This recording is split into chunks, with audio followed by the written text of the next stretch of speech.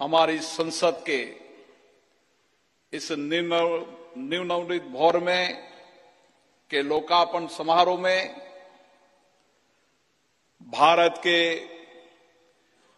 यशस्वी प्रधानमंत्री माननीय नरेंद्र मोदी जी, राज्यसभा के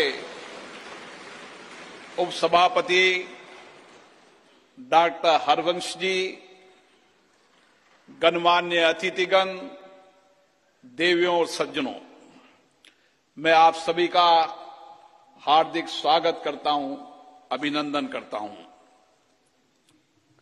आज़ादी के अमृत काल में संपूर्ण राष्ट्र आज इस महत्वपूर्ण और ऐतिहासिक पल का साक्षी बन रहा है।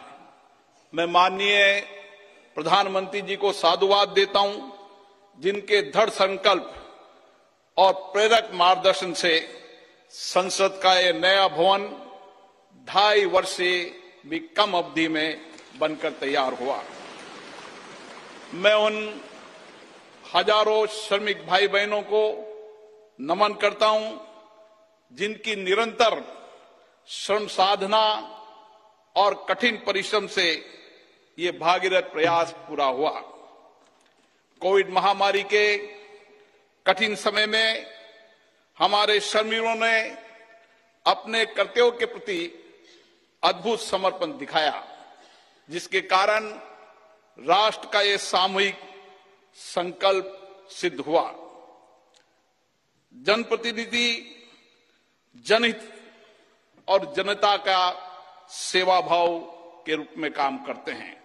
पिछले सात दशकों से संसद के अंदर हमारे विद्वान नेताओं और सांसदों की उत्कृष्ट चर्चा और संवाद से जनता की समस्याओं का समाधान किया गया और महत्वपूर्ण कानून भी बनाए, जिससे लोगों के सामाजिक, आर्थिक जीवन में व्यापक परिवर्तन हुआ। हमारा लोकतंत्र और अधिक सशक्त हुआ। इस अवसर पर मैं उन सब का भी आभार व्यक्त करता हूँ। लोकसभा में मेरे पूर्वती अध्यक्ष ने सदन की गरिमा और प्रतिष्ठा बढ़ाने में समर्पित भाव से योगदान दिया, उनका भी मैं साधुवाद व्यक्त करता हूँ। भारत विश्व का प्राचीनतम लोकतंत्र है। संपूर्ण विश्व में लोकतंत्र की जननी के रूप में हमारी पहचान है। संसदीय लोकतंत्र की इस यात्रा में हमने सदनों की अच्छी परंपराएँ और प्रपाटियाँ स्थापित की है।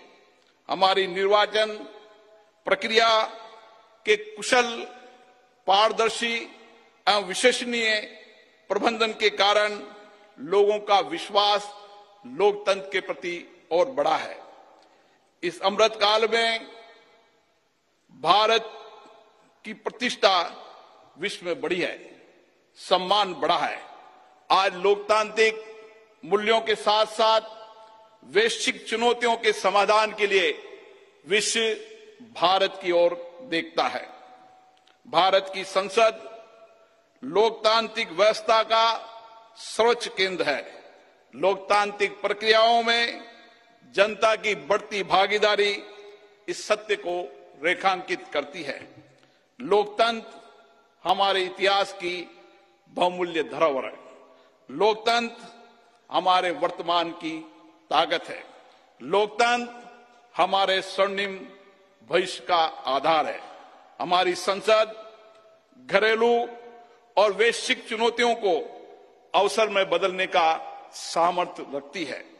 वीरता में एकता भारत की शक्ति है। Subscribe to One India channel and never miss an update